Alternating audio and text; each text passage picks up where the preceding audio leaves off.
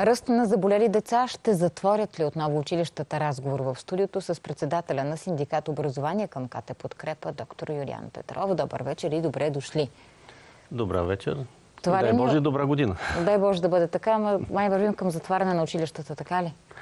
Отново. Ми, за съжаление се приближаваме към а, нещо по-удобно. Повишава, а, повишава се броя на заразени учители и ученици, но, но така най- най-опасното, може би и най-трудното за организация в цялата тази ситуация е, че а, много се повиши броя на отсъстващите учители по различни причини. Някои от тях са болни, други са карантинирани, трети нали, са си сложили вакцини или така нататък. По, по всички възможни причини отсъстват и когато в едно училище те са над 5%, вече се появява проблема. Сега над колко сега, процента сега са? ни информират от страната, че имаме училища, които са над 20% отсъствие на учители и така. Това е което е процент. много трудно, много трудно а, организация на работата в а, едно Сега, такова когато училище. гледаме новия пандем- пандемичен антиковид план за затваряне на училищата, той по-добър ли е от стария? При 70% заети интензивни легла, при 80% се затварят всички а, ученици в къщи.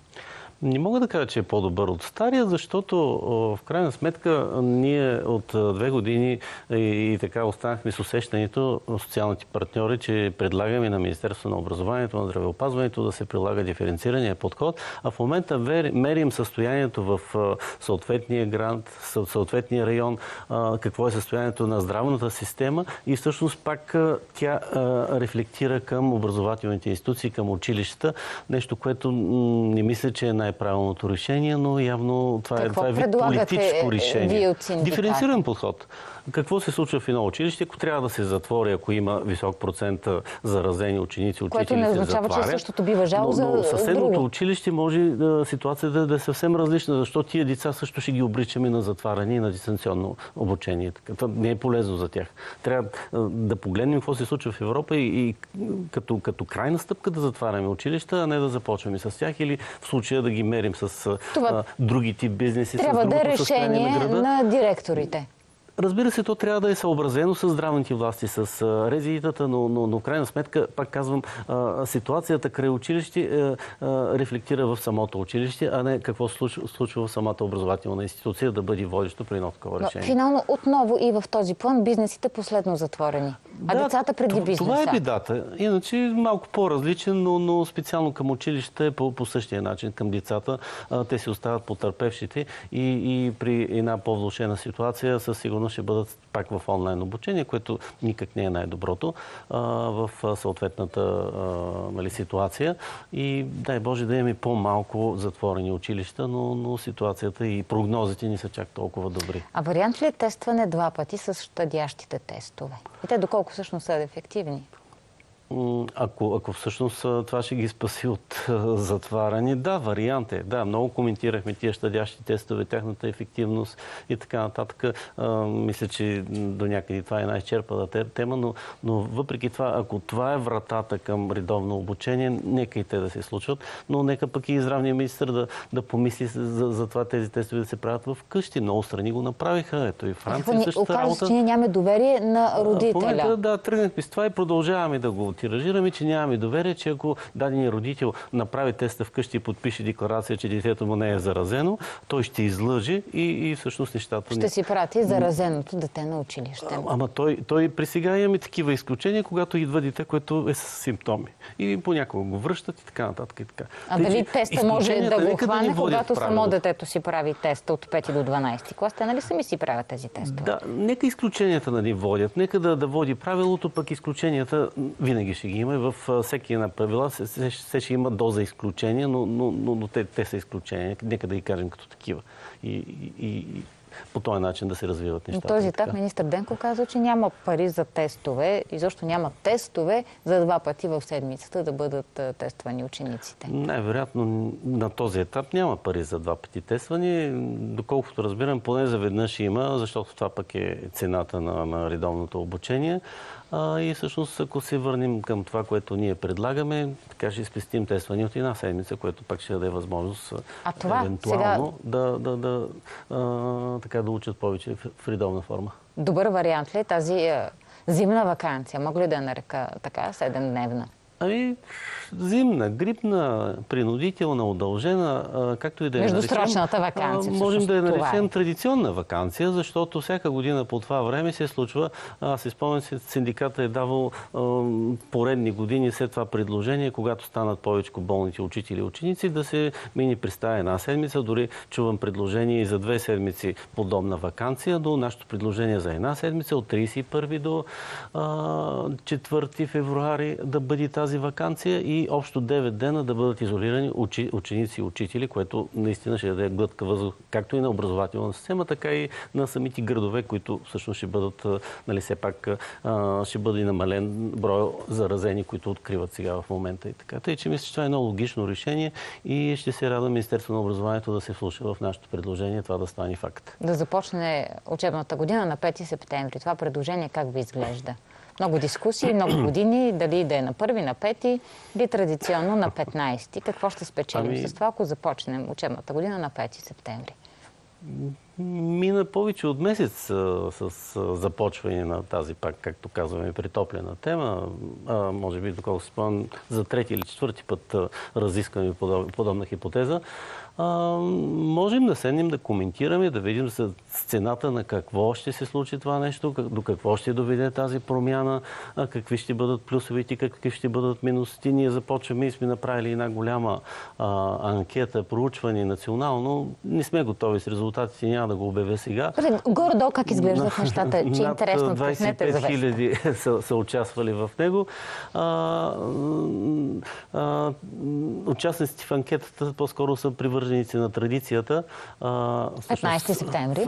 Всъщност полярно са, са, са привърженици на тази традиция, но, но в крайна сметка, ако ще правим един такъв национален дебат, както и преди малко коментирахте, всяко едно ново нещо трябва да бъде с а, поне един сравнително висок национален консенсус. Ако той го няма, нещата не би трябвало да се случат императивно или с промяна на някои закони. Така. Тъй, че ако българското общество бъде убедено, български родители, български учители бъдат убедени, че това е нещо по-добро в един дебат, в който ние ще участваме като синдикат, разбира се, а, нека да се случи. Но ако те ни бъдат убедени, нека това не се случва и така. Нека така да го кажа по този Ако начин. родителите по някакъв начин бъдат убедени, въпреки че там наистина е много полярно мнението, какво остава Не за учителите? Полярно, полярно е, но не е много полярно. Те, трябва да се върнат доста по-рано в училище. Ами, това, средата това на август. и директорите означава, че те трябва да започнат поне 15 август да работят.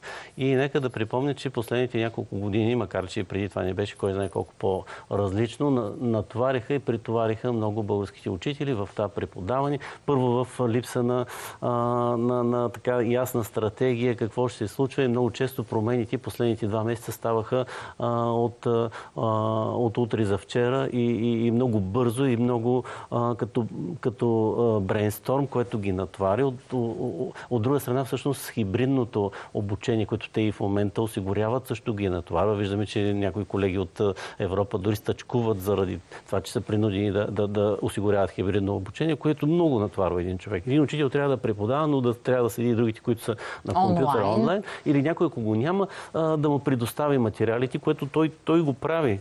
Той е принуден да го направи. Той, той е призван да го направи, но оттам насетне много е трудно. Тук може да помислим и всъщност нека да минимизираме тия, тия ученици, които не са в клас. Нека да, да помислим дали тогава, когато родителите решават да, да не ги допуснат до училище, дали това е най-доброто за децата, дали тая хипотеза въобще да съществува в закона. ето това ще я да ви попитам. А, ние с това започнахме още преди година и, и, и, и два месеца, че това, това беше лошо политическо решение и, и експертно решение Който да иска оставя децата си вкъщи. А, Прииграват някои родители и всъщност те, те са убедени, че вземат правилното решение, но в крайна сметка потърпевши са техните деца и, и всъщност а, Министерство на образованието а, трябва да прецени тази, тази, тази хипотеза да я отмени в този си вид, който се намира. Сега някои родители ще кажат, нали, има но- медицински изключения, има болни родители, но, болни но деца, преценката хронични на заболявания. родителя не смятам, че е съвършена и не смятам, че е в интерес на детето. а По-скоро отнема права на детето, защото всичко това, което се случва в къщи, води до едни огромни дефицити. Не, не по отношение толкова на обучението, по отношение на психическото здраве, по отношение на физическото здраве.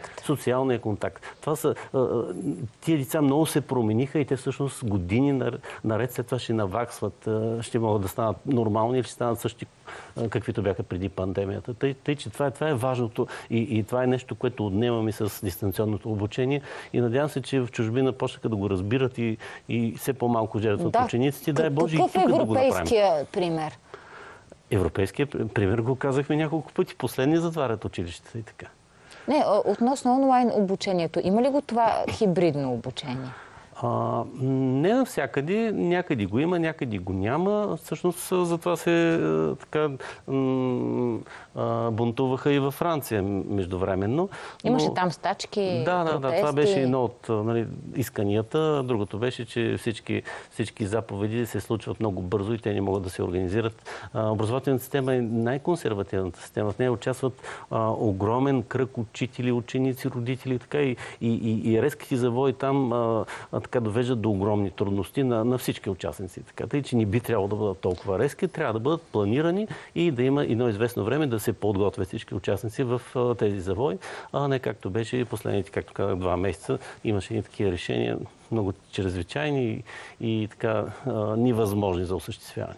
Онлайн обучението какво отне от децата? Защото казахте, тук не говорим само за качество, но аз ви питам конкретно сега за качество на обучението. Загубени ли са тези две години? Тези години не са загубени. Не мога да ни кажа, че българското електронно обучение е на едно добро над средните европейски нива. Тъй, че по отношение на обучението, децата, които учат, така, нямат огромни дефицити по отношение на знанието и сравнително добре се справят, но, но пък липсата на социални контакти, липсата на социализация, неизградени вътрешни навици, детето да може да, да стане на време, да си включи устройството, да внимава, даже ня, нямаме и регламент с задължение да бъдат включени камерите постоянно. това до голяма степен пречеше на много ученици, които не можаха да се адаптират и всъщност това... Това за камерите това го доведи... няма и от страна на учителите, доктор Петров. А, а, това го няма от страна на учителите, но, но в крайна сметка а, много уроци съм наблюдавал, аз преподавам и на студенти. Огромно изключение камерата на, на, на учителя, преподавателя да не е включена и, и да ни казвам обратния пример е така.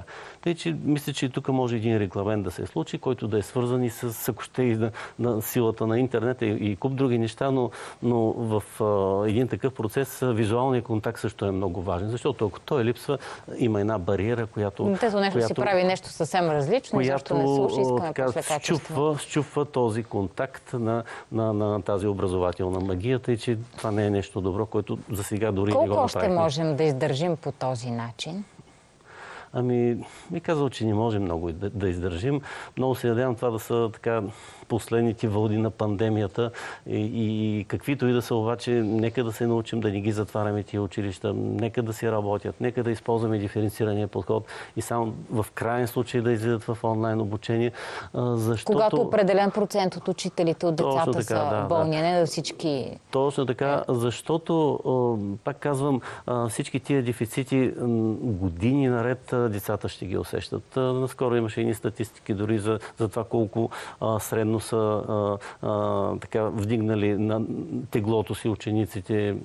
Мисля, че беше средно 5, 5 кг, но, но, но май имаше и по, по-драстични статистики и, и куп други а, и физически, и психически. А България води в отклонение в тая посока. Тази които... статистика за затластяване. Точно, Знаем ли точно. колко учители и ученици са вакцинирани? А, имаме една така по-обща статистика. Надявам се, че Министерството разполага с малко по-точна статистика, макар че много от колегите дори не желаят да, да, да казват какво са направили или дали са вакцинирани или дали имат антитела и така нататък. Но а, по, по наши изчисления близо 55% от учителите са а, вакцинирани, всъщност което ги прави най-вакцинираните от всички професии в България. Може би лекарите също имаха някаква подобна статистика, Толкова. които също са с така висок брой брой вакцинирани, но на база на, на останалите те са почти двойно повече като А за проценти. децата знаем ли? И така да завършим. За децата нямам точната статистика, но мисля, че не е малък процент и на учениците. Те имат желание също да участват в този процес, но, но в крайна сметка България всички тия процеси а, така малко по-балкански се развиват, но се надявам, че в момента имаме така едно положително отношение, ръст на вакцинираните и, и всъщност така едно усещане, че, че това ще ни доведе до, до една по-голяма сигурност. Може да има заразени, но, но няма да има много болести, няма да има и смъртни случаи, което пък ще ни доведе до, до, до нормализацията на всичко или, или всъщност до времето от преди пандемията, да за което си мечтаем. Да си го пожелаем това време. Благодаря ви за този разговор и до нови срещи. Доктор Юлиан Петров пред Денят Онер. Сега следват рекламите. Ви останете с нас.